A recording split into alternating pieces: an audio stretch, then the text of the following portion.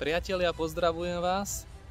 Dnes tretia tohto ročná rybačka na čerstvo rozmrznutom jazierku.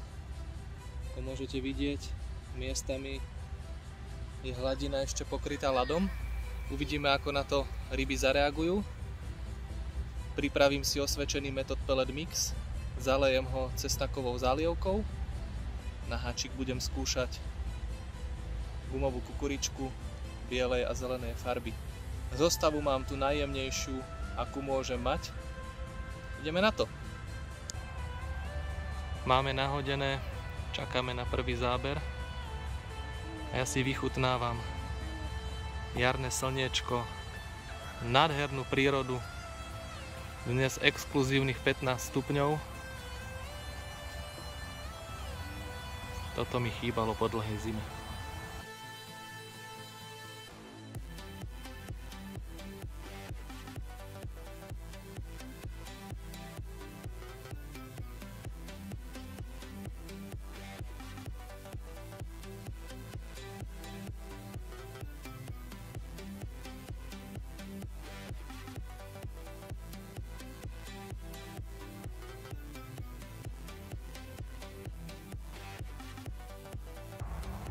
Neustále posúvajúce sa kryhy ľadu nám výrazne stiažujú rybačku.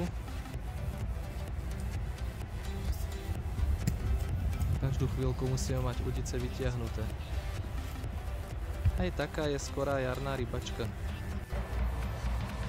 Pripravené na nahodenie, musím však počkať, až sa posunie kryha ľadu.